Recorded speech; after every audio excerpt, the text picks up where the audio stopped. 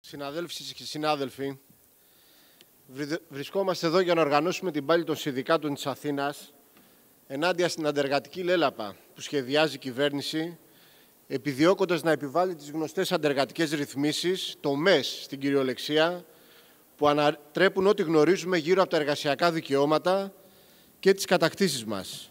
Να οργανώσουμε τον απριγιακό εορτασμό της Πρωτομαγιάς με το περιεχόμενο και τα συνθήματα που αντικατοπτρίζουν τις σύγχρονες ανάγκες των εργαζομένων ενάντια στην καπιταλιστική βαρβαρότητα. 135 χρόνια μετά την αιματοβαμμένη Πρωτομαγιά του Σικάγο για το 8ωρο και 101 χρόνια μετά την καθιέρωση με νόμο του 8ωρου στην Ελλάδα, μια κατάκτηση που για να κατοχυρωθεί χρειάστηκαν ποτάμια αίματος και σκληροί αγώνες στις τάξεις μας, η κυβέρνηση ετοιμάζεται να το καταργήσει. Να φέρει με νόμο την επιβελή της δεκάωρης εργασίας και την κατάργηση της αμοιβής των υπεροριών, ρυθμίσεις για την περαιτέρω διεύρυνση της ευελιξίας. Η κατάργηση του 8ωρου των συλλογικών συμβάσεων εργασίας, της Κυριακής Αργίας για περισσότερους κλάδους, καθώς και βασικών συνδικαλιστικών δικαιωμάτων, αποτελούν κορυφαίο χτύπημα στα δικαιώματά μας και στον ίδιο το σκοπό της ύπαρξης και της δράσης των συνδικάτων. Πρέπει να σημάνει συναγερμό σε όλα τα σωματεία, σε όλη την εργατική τάξη. Η κατάθεση αυτού του νομοσχεδίου πρέπει να σημάνει ότι είναι αιτία πολέμου. Πρέπει να συνειδητοποιηθεί σε τι αλλαγές αναφέρεται το νομοσχέδιο. Αλλαγές στην κυριολεξία κοσμογονικές.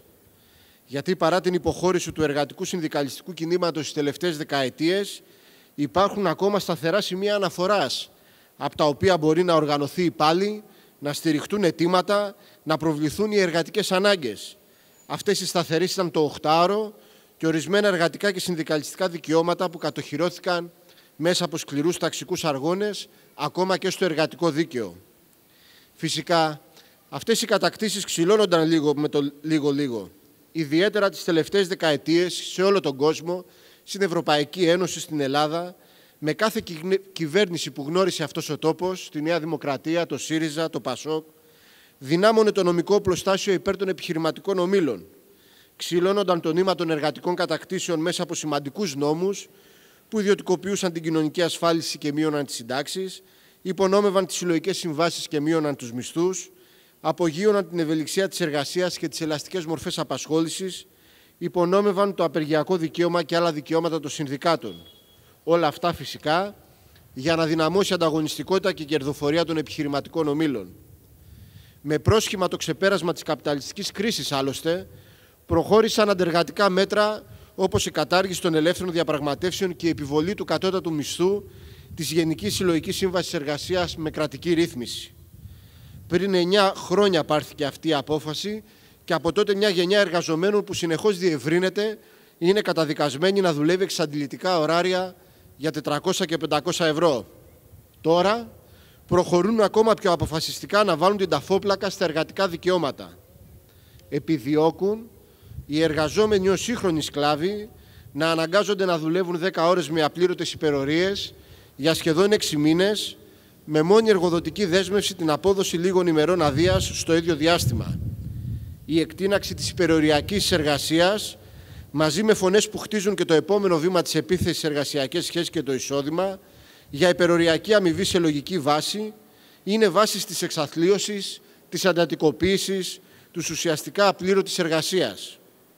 Επιδιώκουν να μετατρέψουν όλη την Ελλάδα σε μια μεγάλη ειδική οικονομική ζώνη, όπου οι επιχειρηματικοί όμιλοι θα είναι πλήρως ελεύθεροι να απασχολούν όποτε και για όσο θέλουν τους εργαζόμενους να τους πληρώνουν από μισθούς των 200 ευρώ, να τους έχουν στη διάθεσή τους 7 μέρες την εβδομάδα. Επιδιώκουν με την επιβολή της ατομικής σύμβασης εργασίας, την ελεύθερη φανταζόμαστε και γνωρίζουμε καλά όλοι σε εισαγωγικά ελεύθερη, όπως λένε η συμφωνία, μεταξύ εργαζόμενου και εργοδότη, να σπάσουν τον πιο ισχυρό δηλαδή δεσμό που δένει τους εργαζόμενους με τα συνδικάτα, Όλοι μπορούμε να καταλάβουμε και έχουμε σημαντική πείρα τι σημαίνει ένας εργαζόμενος μόνος απέναντι στην εργοδοσία, πόσο ευάλωτος και ανυπεράσπιστος είναι απέναντι σε κάθε αξίωση του εργοδότη. Με τις αλλαγές του συνδικαλιστικό νόμο επιδιώκουν να βάλουν τους εργατικούς αγώνες στο γύψο, να προωθήσουν το ηλεκτρονικό φακέλωμα και να νομιμοποιήσουν την εργοδοτική τρομοκρατία, να δώσουν αποφασιστικό χτύπημα στο απεργιακό δικαίωμα, αφού επιβάλλεται εκτός από τον απαράδεκτο τρόπο της ηλεκτρονικής ψηφοφορίας και η νόμιμη απεργοσπασία για τους περισσότερους κλάδους. Περισσότερα για τις συνέπειες του νομοσχεδίου στη ζωή των εργαζομένων θα πούν και άλλοι συνάδελφοι αμέσως μετά.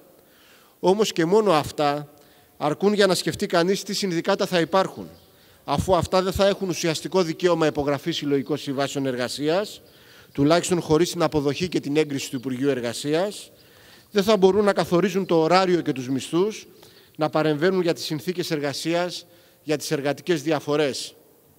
Θέλουν συνδικάτα κοινωνικούς εταίρους, όπως η ΓΕΣΕ και η ΑΔΔ, να κάθονται δηλαδή στο τραπέζι των διαπραγματεύσεων και να συμφωνούν σε όλες τις αντεργατικές ρυθμίσεις. Απλούς παραστάτες στην παρέλαση των αντιλαϊκών νόμων που ξυλώνουν κάθε εργασιακό και συνδικαλιστικό δικαίωμα.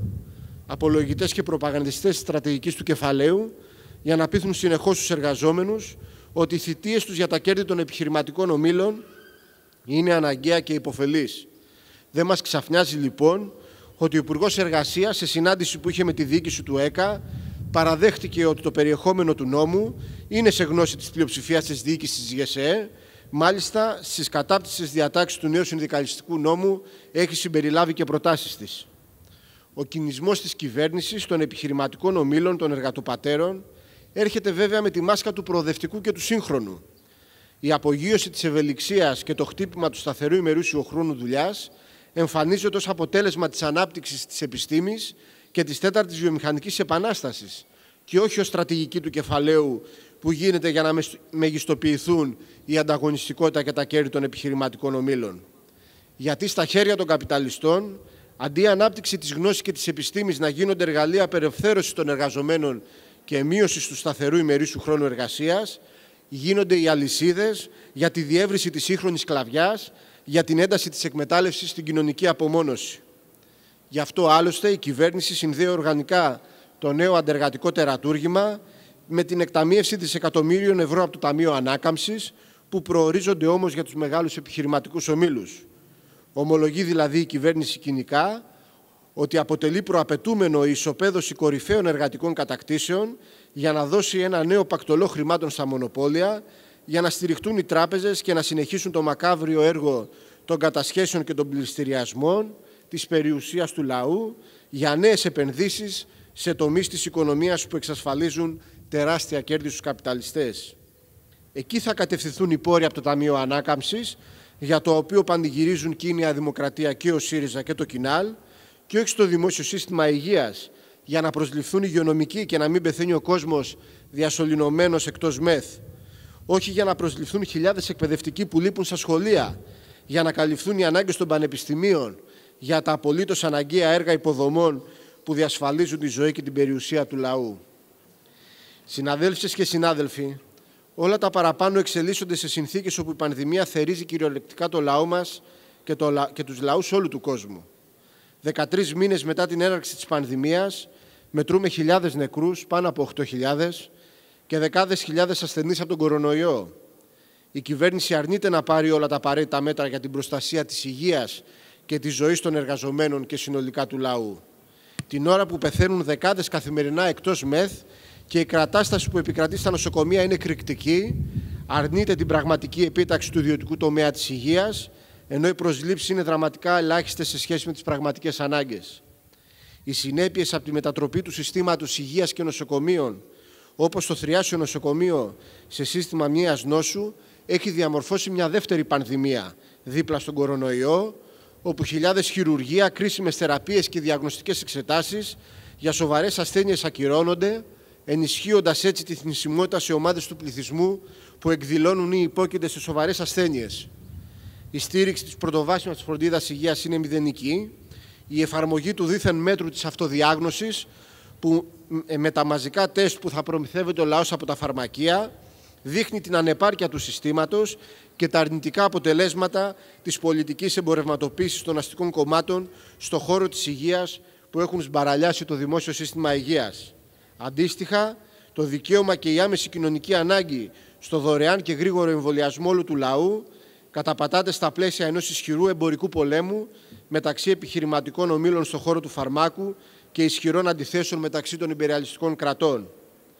Έχουν λοιπόν μεγάλη αξία οι πρωτοβουλίες και οι αγωνιστικές δράσεις που πήραν συνδικάτα και μαζικοί φορείς για την υπεράσπιση της υγείας του λαού, όπως με τις δεκάδες κινητοποιήσεις που έγιναν σε νοσοκομεία και κέντρα υγείας στις 7 Απρίλη, τα συλλαλητήρια των σωματείων και των μαζικών φορέων σε Πειραιά και Δυτική Αττική, οι κινητοποιήσεις έξω από μεγάλους ομίλους της ιδιωτικής υγείας μέσα στο Μάρτι. Στήριξαν και προώθησαν τα ζωτικά αιτήματα για την επίταξη του ιδιωτικού τομέα της υγείας χωρίς καμιά αποζημίωση σε επιχειρηματικούς ομίλους και για τη στήριξη του δημόσιου συστήματος υγείας για άμεσα μέτρα προστασίας της υγείας και της ασφάλειας στους χώρους δουλειάς. Αυτή η δράση των συνδικάτων και η κατεύθυνση της πάλης ενοχλεί και την κυβέρνηση και τα αφεντικά. Γι' αυτό μόλις προχθές είχαμε την απόλυση ενός πρωτοπόρου εργάτη, μέλος της διοίκησης του Συνδικάτου Αττικής, Μετάλλου Αττικής, από τη βιομηχανία που δούλευε γιατί απέτησε να γίνουν μαζικά τεστ σε όλους τους εργαζόμενους αφού είχαν διαπιστωθεί μέσα στο χώρο δουλειάς αρκετά κρούσματα. Είναι γελασμένοι όμως αν νομίζουν ότι θα κάνουμε πίσω. Το ταξικό κίνημα, τα στελέχη του Πάμε και άλλοι πρωτοκουπόροι αγωνιστές δεν τρομοκρατούνται. Θα συνεχίσουμε ακόμα πιο αποφασιστικά, ακόμα πιο περισσότεροι.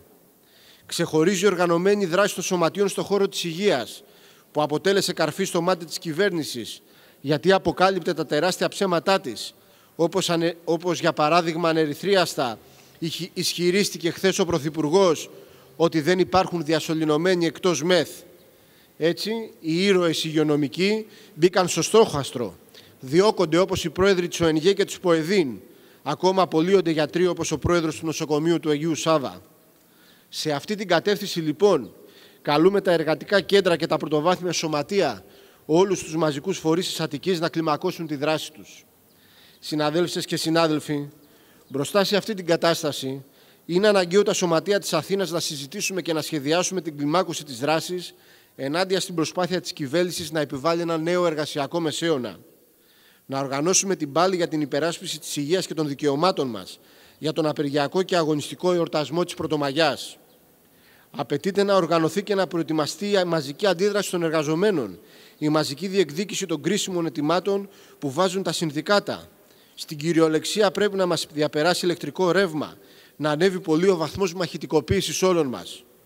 Μπορούν και πρέπει να οργανωθούν άμεσα οι συνεδριάσεις των διοικητικών συμβουλίων, να οργανωθούν συσκέψεις και συγκεντρώσεις σε χώρους δουλειάς, όλες οι συνδικαλιστικές οργανώσεις να ετοιμάσουν τις ανακοινώσεις τους.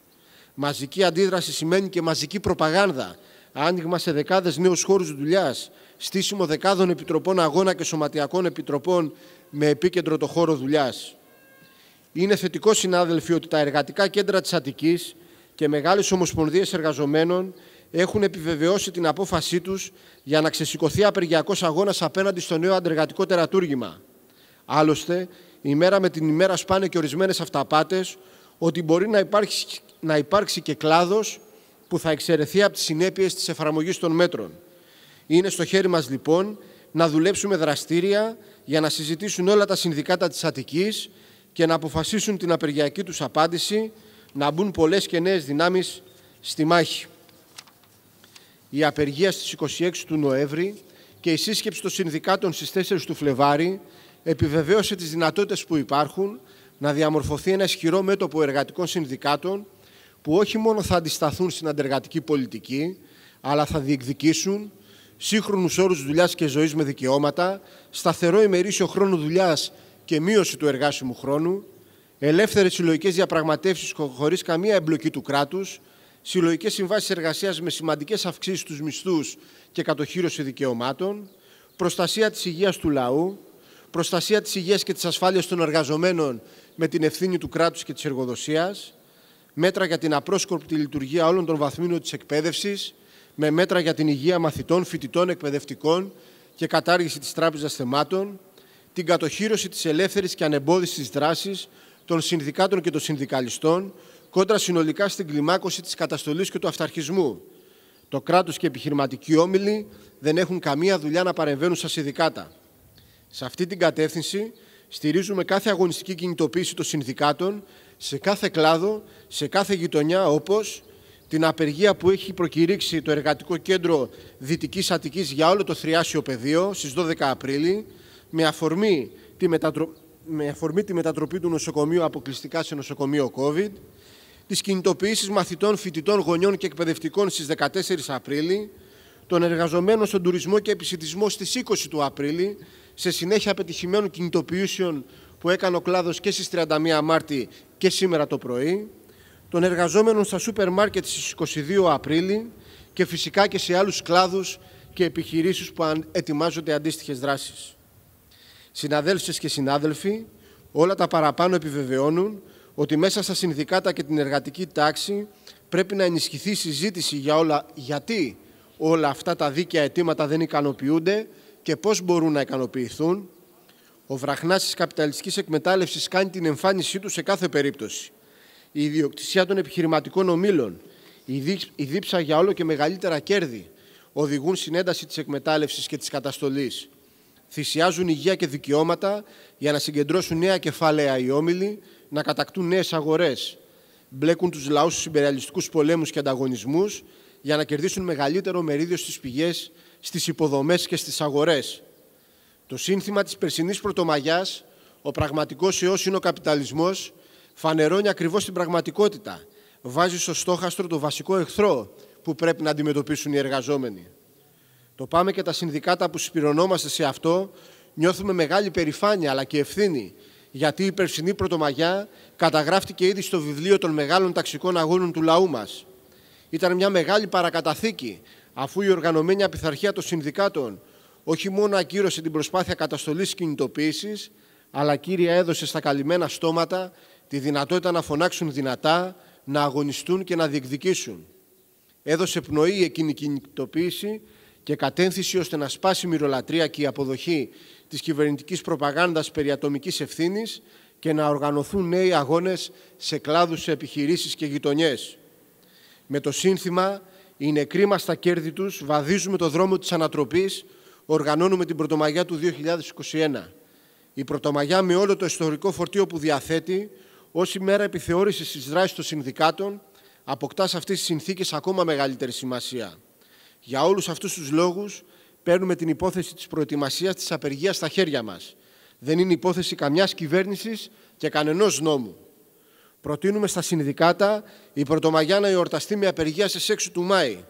Είναι αρκετός χρόνος να προετοιμαστεί καλά, να οργανωθούν πολλές εκδηλώσεις σε χώρους δουλειάς, να οργανωθεί καλά η μαζική συμμετοχή των εργαζομένων στην απεργιακή συγκέντρωση στο Σύνταγμα.